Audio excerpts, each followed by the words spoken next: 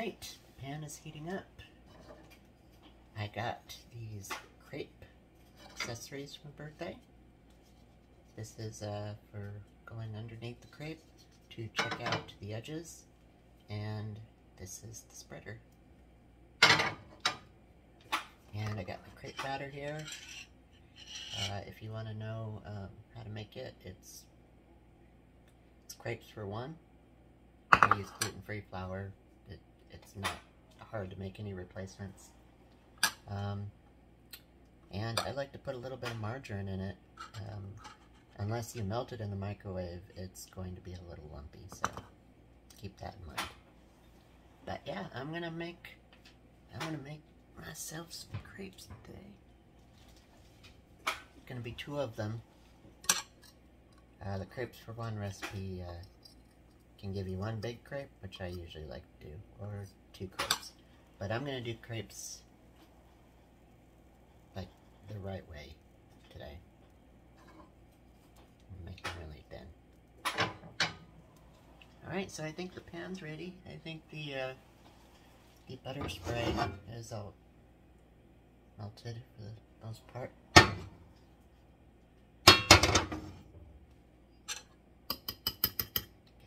Out of here.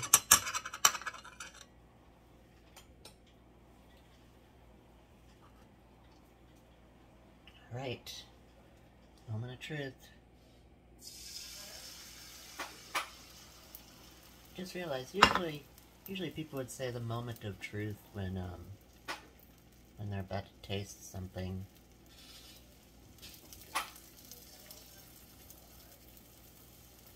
This is so weird. I, I I'm now discovering that I should have done this on low heat because I'm getting a lot of resistance here. This didn't turn out too well. I guess that's what you get during a moment of truth. Sometimes the truth can go one way, sometimes the truth can go the other. Damn. Oh, you know what? I want to keep that sound next great.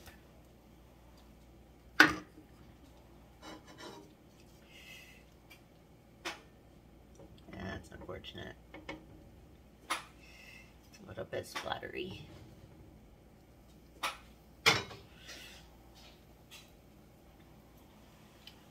Well, that's, uh,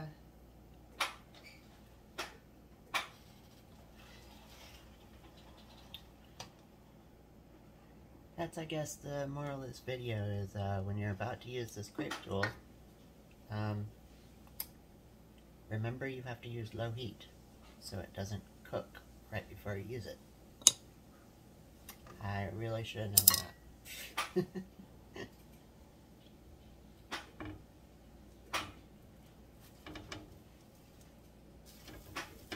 Nonetheless, though, this is going to be really good. Um, and I'm not going to attempt to use the crepe tool on the second one because um, it's just going to cook automatically because the heat is already going to be on.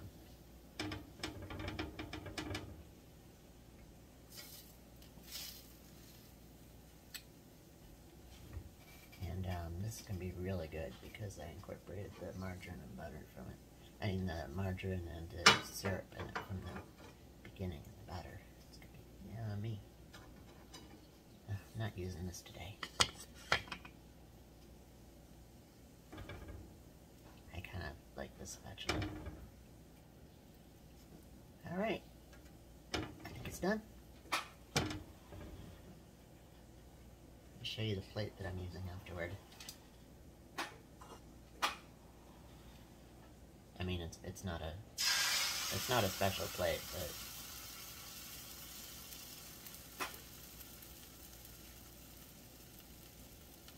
guess I was looking forward to showing off the garnish.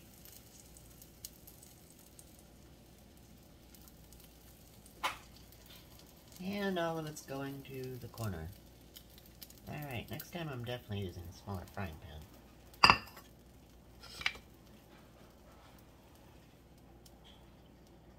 At that big pool of, uh, big pool of spray right there. That's going to be a particularly greasy part of the crepe.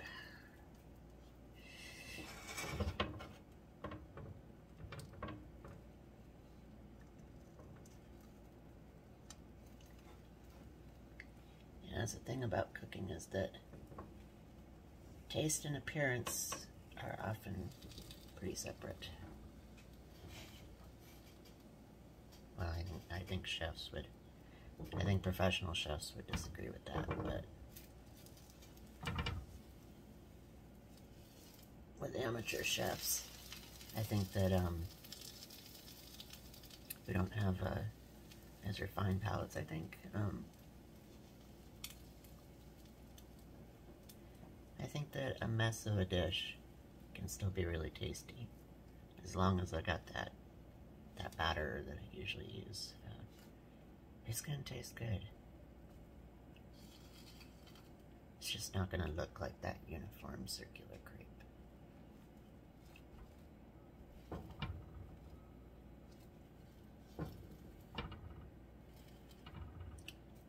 Uh, see this burn I got from the last video?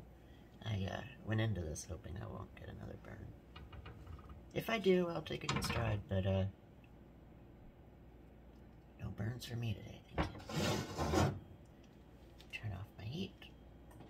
Move this so I don't get another burn. Or so I'm not likely to get another burn. And then, to show you my garnish. Some mint that my mom picked in the backyard today. And uh, those are crepes for one. Thank you for watching. Have a good one.